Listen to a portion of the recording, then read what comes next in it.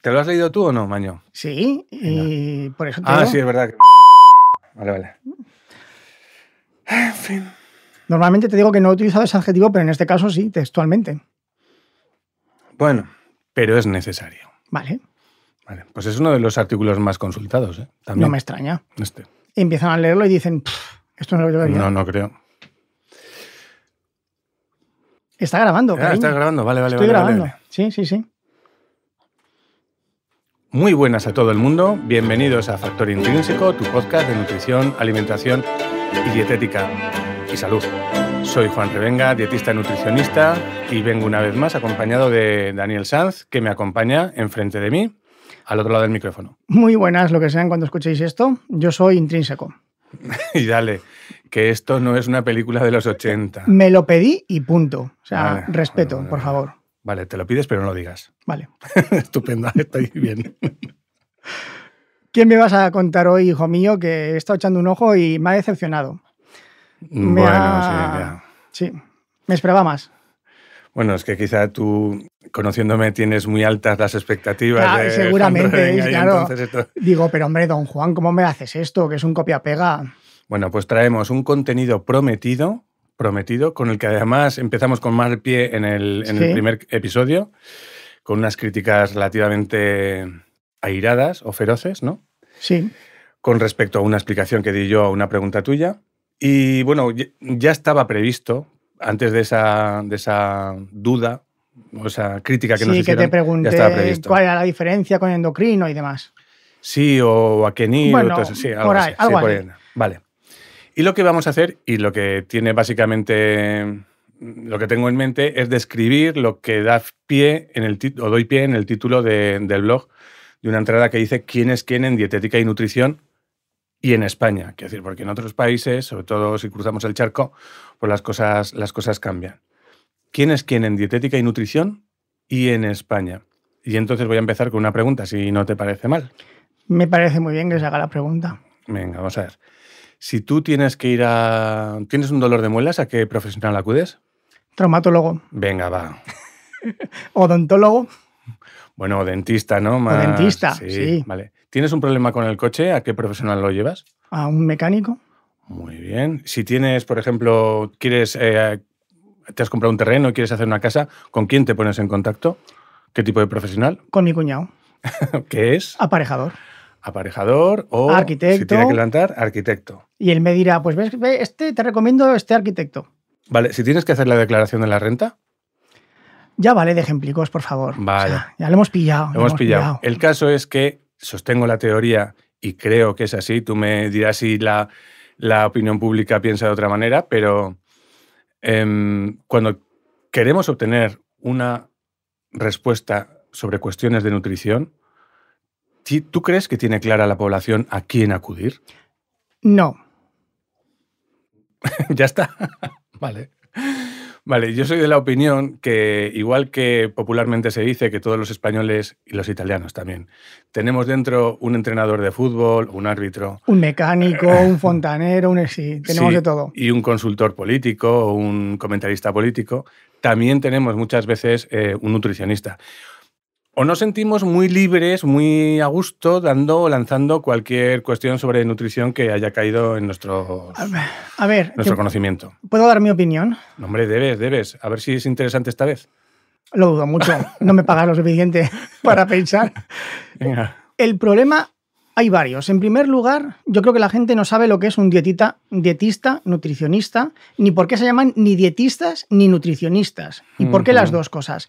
Y en segundo lugar, es que todo está lleno de dietistas. Vas a la herboristería y hay un cartel que pone martes y jueves viene una nutricionista a hacer tal. En la farmacia te preparan dietas. En televisión tienes 500 programas por la mañana que te hablan de las mejores dietas y salen así como tú, señores mayores que parece que saben mucho, contando historias. Hay una saturación porque a fin de cuentas solo se trata de comer y solo se trata de quitarte lo que picas entre horas y solo se trata de quitarte los hidratos y solo se trata de comer más verduras, etcétera, etcétera, etcétera. A ver, somos una población, hemos llegado a un estadio que nos la cogemos ya con papel de fumar. Me refiero a que nos hemos quitado de encima muchísimos problemas importantes y ahora nos creamos problemitas donde realmente no los tenemos o no deberíamos tenerlos. Esto es un poco lo de la pirámide de Maslow. Cuando tú ya no te estás muriendo de hambre, cuando tú ya no tienes enfermedades carenciales y lo que te preocupa verdaderamente es procurarte sustento, mira, que se quiten los nutricionistas. Que no me puedo comprar el último iPhone, Juan. ¿Tú sabes la desgracia que es esa? Claro, bueno, pues en esas circunstancias y cuando ya tenemos todas esas necesidades cubiertas, necesidades básicas cubiertas, pues nos preocupamos por ciertas, yo te lo reconozco, por ciertas tonterías. O dejamos de tener un conocimiento que antes era básico o elemental, prácticamente yo creo que venía em, de forma natural ya impreso en nuestro software biológico. No, pero... no, estoy, a ver, tú no, antes tanto como eso no, pero... comías lo que encontrabas. Punto. Y, Bueno. y si te morías, mala suerte. Y si no te morías, mañana más. Lo que no mata engorda, ¿no? Básicamente. Claro. O sea, yo creo que hasta hace relativamente pocos años, pongamos unos cientos de años, la gente comía lo que encontraba. No se preocupaba en si esto me va a engordar o no. ¿En los cazadores recolectores te refieres? No, pero ¿A todo eso o no? tampoco hace falta irse tan atrás. ¿Tú crees que hace 400 años la gente se preocupaba de lo que comía? No especialmente. 300. Hombre, se preocupaba fundamentalmente por tener que comer. Claro. Por tener algo que comer. Exactamente. Es. Sí, sí. Pero ahora ya lo damos por sentado. Y el, el darlo ya por sentado, que, eh, que comamos una u otras cosas, nos ha hecho pues dejar de prestar atención a esa, a esa área de conocimiento y nos hemos vuelto pues más tontos, quizá. No sé, me parece a mí. A ver, y ahora por favor explícame. ¿por qué eres dietista nutricionista? Pues mira, yo estaba precisamente en la, de- en, la, en la reunión que se tomó la decisión de cuál iba a ser nuestra denominación profesional. Y Hace como no- no- 90 años. más o menos. Oye, qué, bueno, en fin, qué torta tienes, te iba a decir. Seguro. ¿Se me ha oído? Pero lo he pensado solo, ¿eh? Solo lo has ¿Se ha oído? Solo No, no, no lo he oído, me lo he Ah, imaginado. Vale, vale, vale, vale. Estupendo. A ver, eh, como no teníamos claro si, si dietistas o nutricionistas y qué definía cada uno de los dos términos, pues decidimos que nuestra denominación profesional iba a ser dietistas guion nutricionistas. Ah, Guión alto, ¿no? Para que no sea guion Vale. bajo, ahora están de moda los ¿Qué guiones es un dietista? Eh, no te lo voy a saber decir. Lo que sí que puedo hacer y lo que vamos a hacer es ordenar la información que, quiero dar en este, en este podcast relativa a las distintas titulaciones que, o nomenclaturas, porque ya no hay ni, titu- ni titulaciones, que, a pie de calle nos podemos encontrar con respecto pues, a este área de conocimiento, que es el de la nutrición y de la dietética. Muy bien. Y yo he hecho básicamente cuatro escalones. Creo que visualmente, pues los que nos estén escuchando se imaginen cuatro escalones, desde luego, de más a menos con respecto a- a- al ámbito académico, que, A que- la especialización. a la especialización, al grado académico que es necesario para adquirirlo, Vale. etcétera, ¿no? Luego los niveles dentro, porque dentro de cada uno de estos cuatro vamos a encontrar también distintas titulaciones o distintas nomenclaturas, eso ahí ya, ya no hay gradación, ¿no? Los simplemente los voy a mencionar. Bien. Por lo tanto, de entrada, lo que sí que me gustaría mencionar es que hay tres y solo tres titulaciones oficiales reconocidas en España cuya formación está intrínsecamente relacionada con la nutrición y la dietética. Bien. Solo tres. Antes había más, hoy hay solo tres. Esas tres son las siguientes. Y digo, aquí ya nos perdemos un poquito en el, en, en- en el orden, ¿no? Quiero Pin- decir, bueno, mira. pinceladas. Dietista nutricionista. ¿Quién es el dietista nutricionista? Que es el caso de mi, de mi formación. Pues son aquellos profesionales que han pasado por la universidad en su tiempo, hicieron una diplomatura y actualmente han hecho el grado de nutrición humana y dietética. Y han pasado tres años anteriormente cuando era diplomatura y cuatro cuando es ahora grado, pues estudiando todo lo que eh, aplica, todo lo relacionado, el universo de la nutrición humana y de la dietética, desde gastronomía, desde Yo técnicas pensaba que la culinarias. licenciatura. Eh, No, es que ya licenciatura. Luego me dices No digo, troglodita. no, digo cuando tú lo estudiaste, que yo pensaba que la No. licenciatura ya eran cuatro años. No, en el año 98 debutó como, como diplomatura. Era, titu- era una titulación uni- universitaria, Vale. pero era diplomatura en su día. No era. Vale. No, era Yo, no, yo pensaba que era licenciatura de cuatro No. años. Vale. No, no. Y bueno, pues son cuatro eh, cursos aca- académicos en los que, bueno, se, se- se- se- se abarca o se engloba todos esos conocimientos relacionados con la nutrición y la dietética, la dietoterapia, las técnicas culinarias, la salud pública, Em, Las técnicas culinarias. Sí, hay una, yo tuve una asignatura que era tal cual, técnica culinaria, y te enseñan a cocinar. Bueno, no es que te enseñen a cocinar, Lo te que enseñan... sucede con los alimentos cuando son sometidos a fritura, eh, hervir, cortar, empanar. Efectivamente, la fritura. y, y esto que hacen ahora al vacío los cocineros, estos que te clavan 500 euros, que pasan el aroma por vapor y no sé qué, y con No. nitrógeno líqui- líquido. No, tantas cosas como esas no hicimos. No digo que no estuvieran descubiertas, hombre, aquí eh, Ferran Adrià ha, ha aportado mucho, no, no sabría decir si ha hecho mucho daño o no, pero eh, ha aportado mucho en aquellos años, desde aquellos años hasta ahora. Pero, ¿no? por ejemplo, esto no tiene nada que ver, pero Ujú. Ferran Adrià analiza lo que sucede con los alimentos cuando son sometidos a estas cosas extrañas que hace él.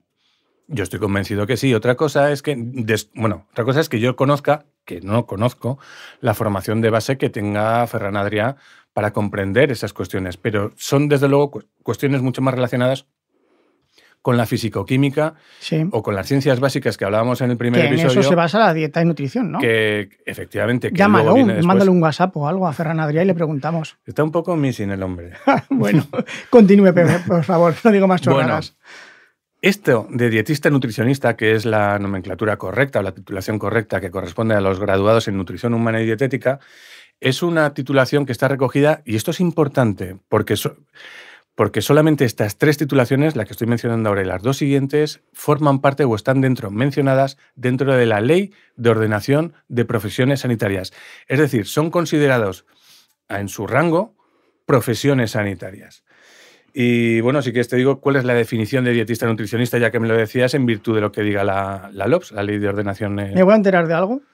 Sí, sí, sí, es muy sencillita. Venga. Dice, dice es, es ese profesional sanitario que desarrolla actividades orientadas a la alimentación de la persona o de grupos de personas adecuadas a las necesidades fisiológicas y, en su caso, patológicas de las mismas y de acuerdo con los principios de prevención y salud pública. Sí, bueno, pues esto, el que no lo haya entendido, No, mira, tú no tienes la ocasión ahora, Daniel, pero No, ahora lo que tendrías que hacer es echarle 15 segunditos para atrás el podcast y volvértela a escuchar. No, que me he enterado perfectamente y Vale. se entiende, pero no me gusta. Ya, porque aquí todas estas cosas tan encorsetadas no te gustan nada. Exactamente. Se entiende perfectamente, pero no me gusta. Vale. Pues te voy a dar el siguiente profesional dentro de este, de este grupo de profesionales eh, específicamente vinculados con la nutrición y la dietética. Sí, Estaríamos hablando de los técnicos superiores en dietética, que serían precisamente, y volviendo, también están dentro de la ley de ordenación de profesiones sanitarias, serían aquellos cuya competencia general es la de elaborar dietas adaptadas a personas y o colectivos y controlar la calidad de la alimentación humana analizando sus comportamientos alimentarios y sus necesidades nutricionales, además de programar y aplicar actividades educativas que mejoren los hábitos de alimentación de la población bajo supervisión correspondiente. Y esto es un grado de formación profesional de segundo ciclo. O sea, en lugar de cocinar, hacen gimnasia. ¿Cómo que hacen gimnasia? ¿Por qué? ¿No has dicho actividades físicas? Hombre, que la tienen en relación, que la, que la tienen en cuenta Ya, precisamente a para... ellos, por ejemplo, no les enseñan a cocinar como Ferran Adrià y les enseñan el impacto del ejercicio y la actividad física, ¿no? Sinceramente, a nosotros también, ¿eh? por cierto, a los dietistas nutricionistas. Lo que no sé es si los técnicos superiores en dietética tienen, tienen asignaturas de tecnología culinaria. Esta es una formación que muchas veces se da a distancia y, el hombre, la verdad, la otra también, ¿eh? bueno, a día de hoy prácticamente eh, cualquiera, Sí. ¿no? Pero que esta es especialmente, ya desde un principio, bueno, ya tenía esa, esa modalidad. Y bueno, pues eh, eso es un segundo ciclo de, de formación profesional. Son dos años también. No, dos años también no. Son dos años, lo anterior eran cuatro. No, lo anterior eran cuatro, ahora, ¿no? Ah, y antes tres, y antes cuando era diplomatura. Estos son dos años, Vale. efectivamente. Y entonces la diferencia entre esto y tú, Pues es únicamente el grado académico, realmente. Hombre, y la profundidad y la extensión de los conocimientos, porque no das lo mismo en cuatro años que lo que das en dos años. bien. La madurez, la madurez que, que- que se te pide precisamente, bueno, se te pide no, que se adquiere cuando estás cuatro años estudiando, el tener que realizar un trabajo de fin de grado, no es lo mismo que el trabajo que habrá al Sí, final bueno, a del fin de esto. cuentas esto es como la FP, ¿no? Más enfocada al, al día a día, por así decirlo. Además lo dices desde el principio, enfocado a preparar dietas en función de las necesidades. Vale. Vale. Y el siguiente y último dentro de este, de este grupo serían aquellas personas que tienen la especialidad médica de endocrinología y nutrición. Como no puede ser de otra forma, también están encuadrados en la ley de ordenación de profesiones sanitarias, más que nada, y se entiende muy fácil porque estas personas tienen que haber partido de un grado de medicina que, luego están especializándose, ¿no? Que ya son bastantes años. Eso es. Y dice lo siguiente. Eh, entre las competencias generales de su formación se encuentra el conocimiento teórico y práctico de las correspondientes técnicas diagnósticas, medidas dietéticas y terapéuticas, así como las normas de medicina preventiva relacionadas con estos cambios, campos. Perdón. El especialista en endocrinología y nutrición es el competente para atender tanto de forma ambulatoria como hospitalaria todas las patologías que corresponden a la especialidad a lo largo de todo el ciclo vital. Qué bien suena, o por lo menos suena muy bien. Suena pues que un profesional que ya es médico y que está formado en estas cuestiones. Este es el que antes se desconectado el cerebro. vale. Este es el que tú algunas veces me has preguntado y dices, ¿y si te traigo yo la dieta que me dio el médico y tal y cual? Bueno, pues sí, muchas veces nos encontramos en esa situación, tristemente. Te voy a contar una anécdota. Y además una anécdota que refiere a Alejandro Sanz. Toma ya. ya, pero no es ese Alejandro Sanz que tú te estás imaginando. Alejandro Sanz es el nombre también del director del, del departamento, departamento de Endocrinología y Nutrición del Hospital Miguel Servet, aquí en Zaragoza. Él es, evidentemente, endocrinólogo, especialista en endocrinología y nutrición, y me dice él mismo, mira Juan, entre nuestro colectivo hay dos tipos de especialistas. Nosotros nos llamamos cocinillas o no cocinillas. Y digo, no te entiendo, y yo que os gusta hacer tortilla de patata en vuestros ratos libres o tal. Me dice, no, mira, los cocinillas que nos miran además un poco así como de refilón y no nos quieren juntar con ellos, con la élite de los endocrinólogos, son somos estos especialistas que tenemos una especial inclinación hacia las cuestiones nutricionales y que dedicamos tiempo en consulta a analizar cuál es el comportamiento dietético o los hábitos alimentarios de una persona y basamos en gran medida, gran parte del tratamiento en estas herramientas. Sabemos qué calorías tienen los alimentos, sabemos a lo mejor de técnicas culinarias, pero sin embargo la mayor parte de los especialistas en esto no quieren ni oír hablar de estas cuestiones que las consideran pues menores, superfluas, y por eso nos llaman a nosotros de forma despectiva cocinillas. ¿Y entonces a qué se dedican esa élite? Pues no lo sé, pero tendremos que traer a algún invitado para que nos lo cuente.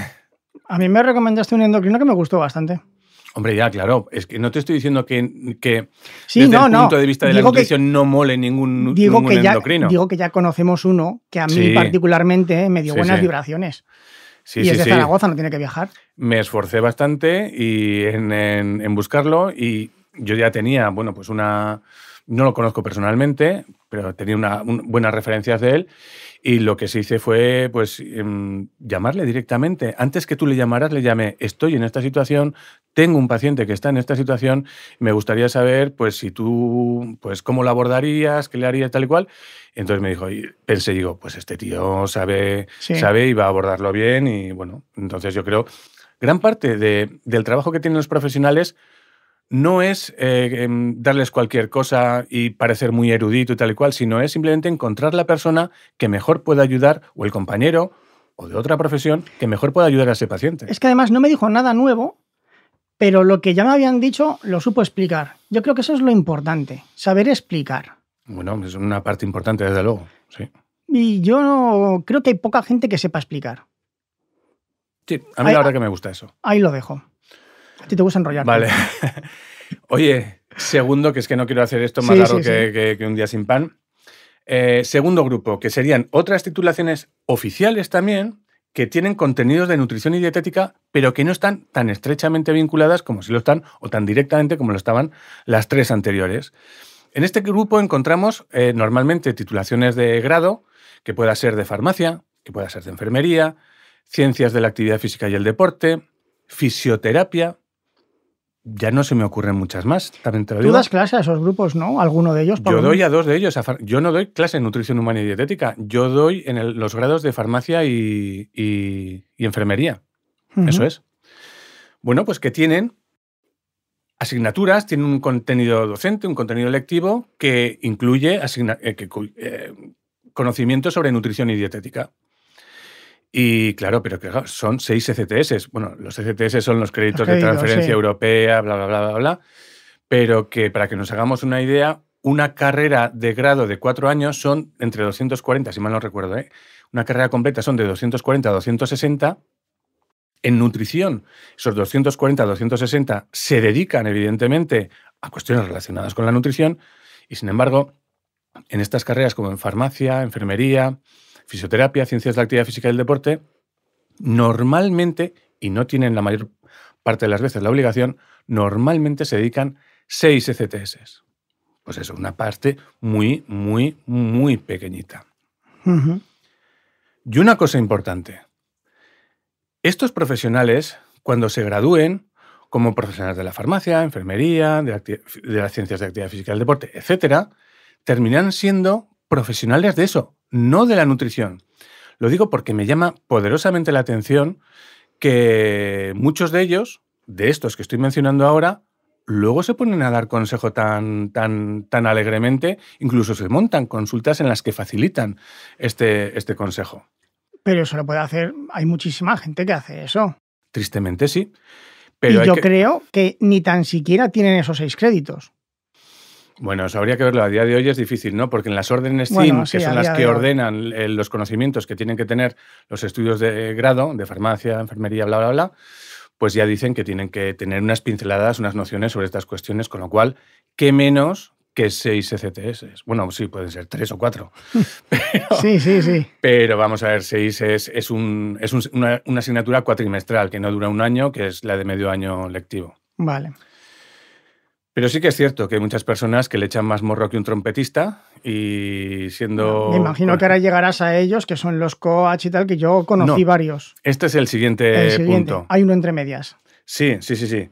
Hay otras acreditaciones que no son oficiales. Es decir, ya hemos visto las que estrechamente vinculadas, las que tocan pero no están estrechamente vinculadas y ahora damos un tercer paso antes del último y cuarto, Em, relacionado con otras titulaciones, otras acreditaciones que no son oficiales.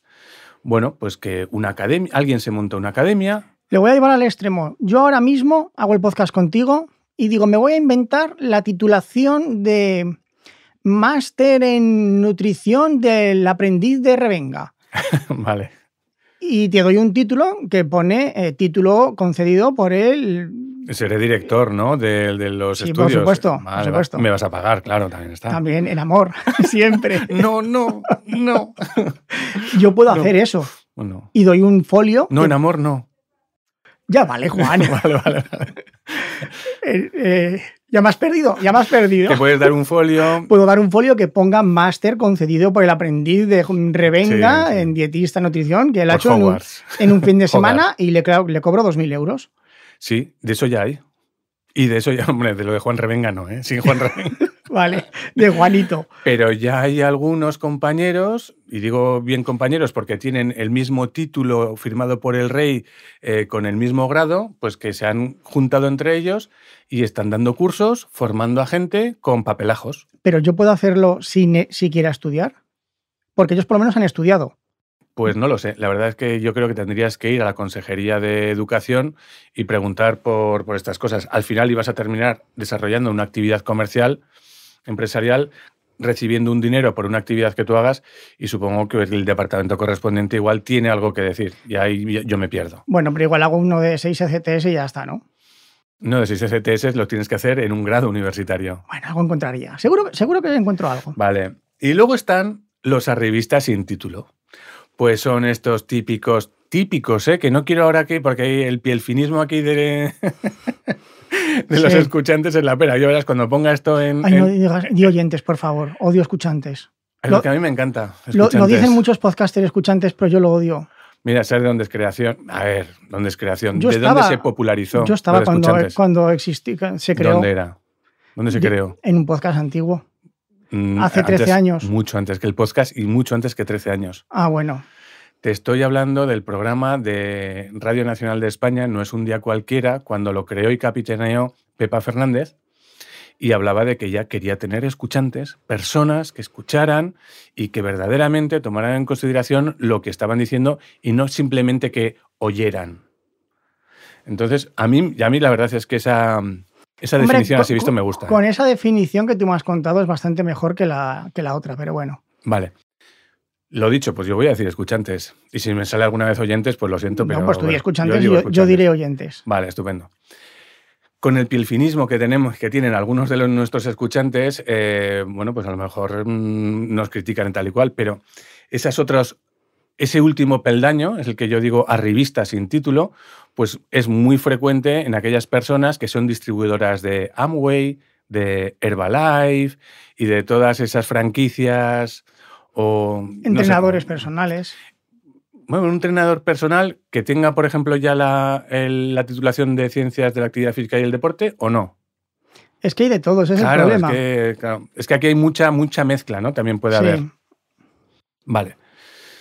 Bueno, pues yo quiero hacer dos aclaraciones antes de pasar al Torrendo Like, que la verdad el tema que te traigo hoy no sé si te va a entusiasmar mucho, pero a mí sí, me gusta mucho. Dos aclaraciones muy importantes. Tener título académico, universitario, no es garantía, ni muchísimo menos, de hacerlo bien. Puede ser tonto con título y puede ser un sinvergüenza con título. Esto lo puse de manifiesto en una entrada que se llamaba prostitución nutricional y que ya sé que lo de prostitución suena como muy grosero y muy arroyo sexual, pero no tiene por qué hacer referencia a, esas cuestiones, porque prostitución, según nuestro querido diccionario, hace referencia a vender bajamente por adulación o interés la profesionalidad de uno. Eh, y al final es lo que terminan haciendo eh, muchos, bien porque sean tonticos, con título, que su título lo único que demuestra es que han superado una serie de pruebas. O listos.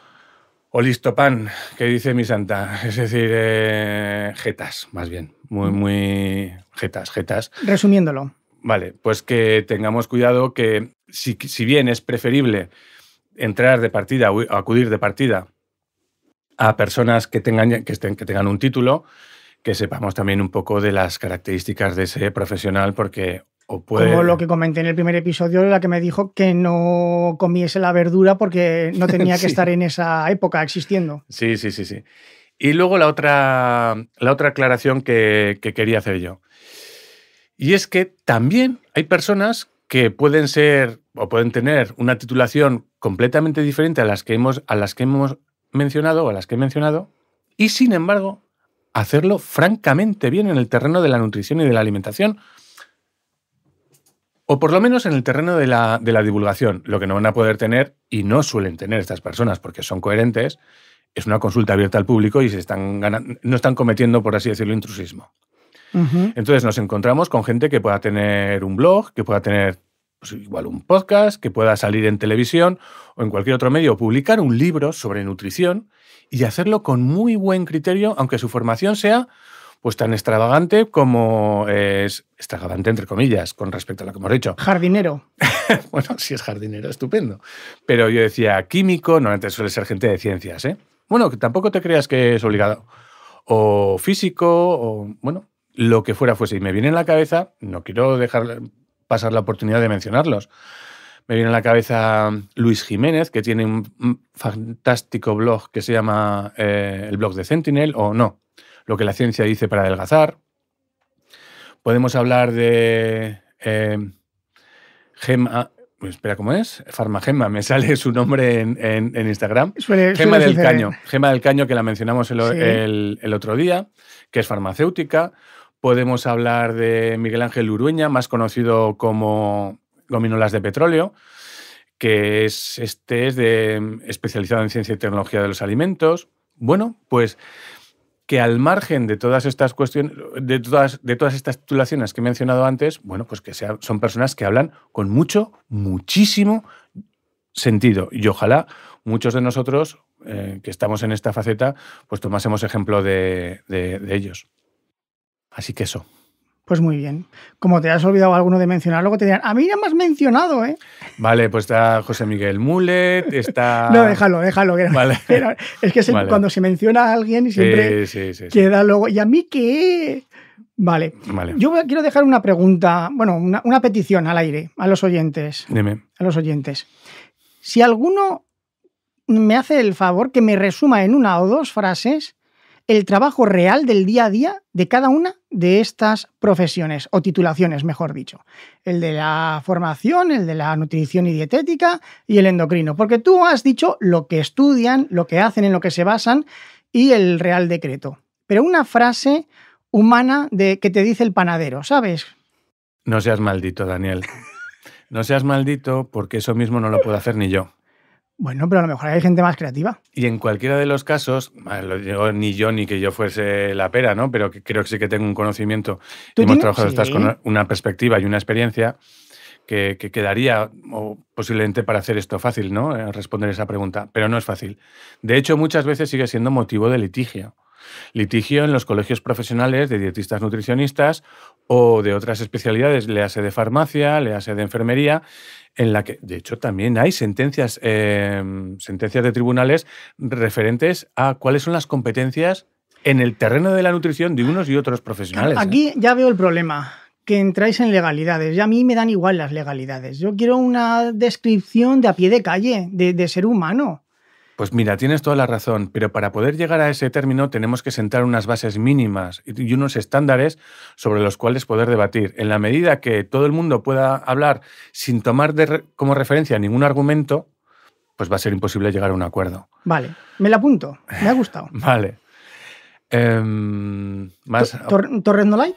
Torrezno Light. Qué bueno es encontrar. Este es bueno, este es positivo, ¿eh? No, no- no es crítica, como todo el mundo cree que lo del Torrezno Light va a ser siempre risas o crítica. Qué bueno es encontrar en tu ciudad, y a mí me ha costado, encontrar un buen afilador. No es que vayamos en busca de patrocinio, o sí, pero este desde luego no creo que sea el caso. Cierto. Pero tengo que mencionar Cuchillería Martínez en Zaragoza. Mítica. Calle un ¿Sí o no? ¿Sí? Sí, mítica. Ah, pues mira. eh, Yo soy un gran apasionado de las navajas, dagas, cuchillos. Mi abuelo, el, el hortelano, me, ense- él me enseñó a afilar la guadaña, la hoz, cosa que es difícil, y con una piedra, ¿eh? Y dándole ahí a la al pedal con el agua. ¿Estrellas Ninja también o no? No, no llegó. Ya se había fallecido cuando Con el conseguí. abuelo no. No, pero seguro que las se sacaba a filo mi abuelo. Era, era un grande. Y yo que soy aficionado a estos temas, es un, un clásico. Un mítico. Pues Sí. mira, yo no lo conocía. Em, porque, bueno, no sé si lo hemos eh, comentado en alguna ocasión. Yo vivo en Zaragoza, ya se me ha pegado el acento, como muchos, muchos oiréis o notaréis, pero soy intrínsecamente. ah, mira, factor intrínseco. intrínsecamente PTV. Pamplonica. de Pamplona de toda la vida. Para los que, para los que haya dicho PTV y lo hayan identificado, ya saben que yo soy PTV de verdad, ¿no? Venga. Eh, y bueno, pues yo esto no lo conocía. Entonces, yo recuerdo que me regalaron, bueno, el juego de cuchillos que, que tenemos en casa, maravilloso, que nos regalaron con, eh, con- cuando nos casamos, ya no recuerdo quién, pero maravilloso, la pera limonera. Lo, he- lo heredarán nuestras hijas, alguna de ellas, o lo repartirán, no lo sé. Pues de vez en cuando hay que afilarlos, evidentemente. Hay que conservar el filo, hay que saber hacerlo, usar la chiara y tal y cual. Y Pero no es lo mismo que los afiladores automáticos que anuncian en la tele. No, no, no, no, no, para nada. De esos normalmente además te cargas el, el filo, por muy bueno que sea. Por uno que te- muy bueno que sea el de los gemelos, el de Solingen, no, o sea, eh, eso te cargas el, el cuchillo. La chiara, y cuando ya la chiara no da más, la piedra que dices tú, o bien ya acudes a un profesional cuando has perdido, has perdido el filo, que era lo que me había pasado ya a mí en esos cuchillos, pues a que te lo vuelva a sacar. Hacer el vacío que se dice. Eso es, no, no, se llama vaciar, no, pero no por hacer el, el- el vacío como normalmente entendemos. Vaciar una hoja, vaciar una hoja para, para cortar, ¿sabes lo que significa, no? Darle esa Sí, curvatura, Sí, sí, sí. ¿vale? que es, no- es más típico y más acusado en las tijeras, pero no tanto en los cuchillos. Yo lo hago con la. Tengo cuatro piedras de afilado japonesas de distintos Madre mía. granajes. Yo tengo una buena chiara nada más. Y yo lo que odio es la gente que hace el vaciado con la radial. Es algo que, que es superior a mí. no sabía que eso se podía hacer con la radial. No se puede. Corta, Vale. porque es un metal, Sí. y las- pero eso es destrozar. Eso sí que es destrozar el cuchillo. Vale. Pues el, el afilador que yo tenía em, se jubiló, que estaba cerquita de, de casa, que también era un artesano pues, de toda la vida. Nadie quiso seguir con, con el negocio. Y la verdad es que he estado dos años, dos pedazos de años que a mí se me han hecho eternos, pues sin encontrar un sitio donde me los afilaran como, como yo quería que me los, me los afilaran, ¿no? Hasta que encontré este, me lo recomendaron y la verdad es que ha sido un gusto, una, una pasada. Y esto es de la importancia, lo uno, con la seguridad en la cocina, porque no hay nada más peligroso que un cuchillo que corte mal o que no corte. Mm, La gente le tiene miedo a los, a los cuchillos que cortan mucho. Digo, no, perdona. Si es que si sabes cómo funciona, esto es como tiene, como tiene que ser y que lo que menos accidentes ocasiona. A mí me pasa. Y pasa con él, que te pasa que te lo cuentan, ¿no? Que, que mi mujer no me deja afilarlos porque dice que los afilo demasiado. ¿Lo ves? Mi suegro le pasa lo mismo, ¿eh? Pero, pero, pero, pero ¿dónde vas eso con lo que corta? Digo, pues sí. Es, que, además la que- gente no lo sabe, pero tú lo que más desgasta el filo de un cuchillo es algo tan cotidiano y simple como cortar un tomate. Es que el tomate Sí. desafila mucho. Eh, y, y el golpe que das al final cuando llegas de- después del corte, Claro. ¿no? De lo que fuera. Con, con lo cual, yo creo que podríamos dar una serie de consejos así a vuela pluma, porque no tenemos nada preparado, sobre cómo conservas tú el, el filo de tus cuchillos o qué cosas no hacer, que es frecuente hacer. Y yo digo uno y tú otra, por ejemplo, si te parece. Venga, no me lo había pensado, pero nunca pensamos nada. Vale, pues si, si no te sale a ti, te- yo te cubro el hueco. Venga.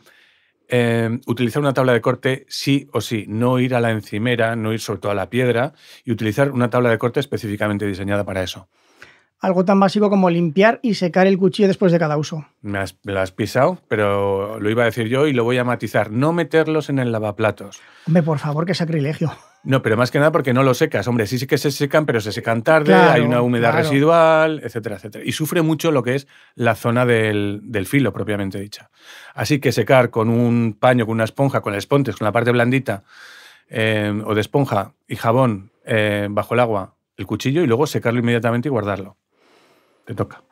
Intentad aprender a afilar el cuchillo, a mantenerlo. No hace falta afilarlo bien, pero ved cuatro tutoriales en YouTube, Hmm. comprar una piedra que es barata, intenta, porque la chiara que tanto le gusta a Juan, a mí me gusta, pero no es lo mismo. Entonces, una vez al mes, por lo menos, a mí me gusta dar un repaso con una piedra finita, suave, para mantenerlo. Intentad aprender a afilar un cuchillo. Vale, voy a intentar que este podcast te lleve tanto tiempo que ya no puedas dedicarlo a afilar cuchillos. A mí yo también me encantaría dedicarle eh, tiempo eh, a la piedra, ¿no? Pero ¿Cuántos es que cuchillos no tienes? Que eres un asesino por las noches y tienes una No, cole- tengo, a ver, así, de ese juego precisamente es un juego de arcos eh, maravilloso y alucinante, tope de gama, el que nos lo regaló se lució en la boda, pues que son de, bueno, el de pan no se puede, claro, tiene sierra, ese no, ese no Ese se eres puede. muy bueno, eres muy bueno si lo afilas.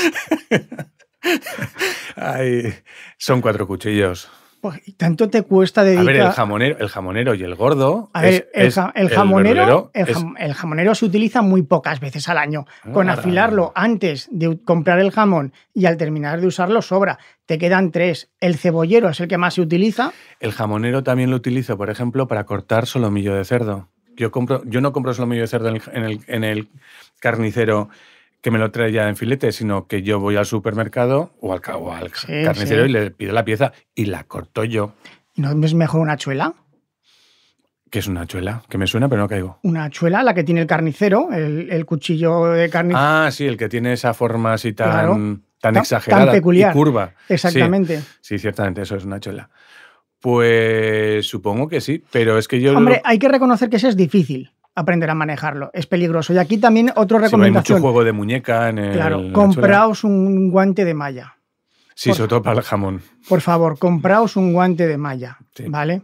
Yo lo utilizo para, para el jamón nada más, porque con el resto yo me considero lo suficientemente hábil para evitar la máxima, que es no meter los dedos por delante del, del filo. Ya está. Sí, pero un resbalón cuando pillas hueso No, o alguna cosa. pero solamente sucederá al corte si está la mano por delante del filo. Sí, sí. Pues ya está. Pero un exceso de confianza. Sí, por eso en el jamón sí que muchas veces se, se- se- se puede dar, pero para el resto no, no, no lo utilizo. el guante. No solamente para el jamón también.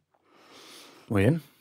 Pues yo creo que las bases estarían aquí. Ahora ya, si quieres seguir, es profundizar de más. no, porque al final nos va a venir algún podcast de, de, De afilado de katanas o algo Pues así. saber para qué sirve cada cuchillo, porque la gente ve el cebollero. Es decir, tú dices cebollero y la gente pensará en el chiquitín, en la no, puntilla. Claro, no. Y el cebollero es el grande tocho. Dicen, El gordo, gordo. dicen, pero para cebollano. Yo pensaba que era el chiquitín No. finito. No, saberlo apoyar en la tabla y saber eh, cortar rápido. Cómo retirar los dedos que nunca estén debajo del, del filo. Bueno, pues sí. No conocía esta faceta, faceta tuya, nos parecemos en más cosas. Cocinero, cocinero. Pues va de eso, no es que sea, sí, sí. sea samurái yo. Bueno, que también, que soy samurái. Pero, Y fantasma. a ver, soy tercer dan de judo, tío. Ya, Eso sí y- lo sabías. pues de y ahí a nuestro samurái. profesor, nuestro profesor de, de judo, con el primer dan, el cinturón negro, nos regalaba la katana porque la katana la íbamos a necesitar en el kata de segundo dan. Con el segundo dan te regalaba el tanto, que es el cuchillo. El cuchillo, sí. el cuchillo. Y con el segundo dan, cuando no lo obtenías, te regalaba el wakizashi, que es la, La la espada espada, corta. corta. Porque cada uno de estos elementos los ibas a necesitar en el siguiente. Me conozco los nombres, no sé si las has Te he visto. visto, te he visto, te he visto. Sí, sí, sí, sí. No sabía que en judo utilizabais eso. En la cata solamente. Es decir, en esas. eh, en esos conocimientos. ¿Cómo decirlo? Eh, ordenados, que son los movimientos obligatorios y que no tienen nada que ver con un combate o con un desempeño natural. Son todo muy, muy, muy reglado, con una, una carga muy potente de protocolo y bueno, pues. Yo conozco uno que hace Aikido y el profesor sí, de Aikido también, sí. dijo, a partir del, no sé si era del cinturón negro o del, del primer dan, si te comes un puñetazo es porque no te has sabido cubrir. vale, muy bien. Y arreglado. Bueno, despedimos esto. Venga, yo creo que sí. Eh, citamos a la gente en nuestras redes sociales. ¿O no? ¿Cuáles son? Yo- tengo Twitter, que es arroba barra baja Daniel Sanz, y creo que en Instagram es igual, pero no estoy seguro. No creo que cambie algo, ¿eh? Pero vamos, Daniel Sanz, que te busquen Sí, y te encontrarán. Alto, guapo, estilo nórdico. qué tortazo que tienes, de verdad. tortazo que Pero a ver si te estoy tirando. Digo porque a veces hay más de un Daniel Sanz, ¿no? Claro, Pero claro, claro, que- claro. Hombre, sí que soy rubio y blanco de piel, muy blanco de piel. Tanto que yo paso del blanco pared al rosa langosta cocida. No tengo colores Lo- intermedios. pues lo acabo de decir. sí, ya Y me lo, lo... de, y lo de la altura es una cuestión relativa. De dónde decir eso. Qué guantazo. Y en mi caso, pues yo creo que ya lo sabéis, arroba juan-revenga, que nos vais a encontrar en Spotify. Bueno, si Mira, esto, lo digo yo, que Venga, te va, enrollas. tira. Vale. Sí. Nos encontráis en todas partes. Si estáis escuchando esto es porque lo habéis encontrado. También estamos en YouTube. Y si os, alguien os lo ha recomendado y utilizáis un programa y no aparecemos, por favor, decídmelo por Twitter. Allí sí que soy arroba barra baja Daniel Sanz y me encargaré de que aparezcamos. ¿Vale? Y suscribiros, por favor, suscribiros, suscribiros. Y compartid. Yo creo que es más importante que compartan. Y valorar. Bien, y valorar. Ah, se me ha olvidado hacer una, una recomendación. Que nos recomienden, o sea, una- un consejo. Que nos recomienden siempre. Voy a sacar a colación a Les Lutiers. Si este programa, este espacio, estos episodios, te gustan, oye, compártelo con tus familiares, con tus amigos, aquellas personas que te caen bien.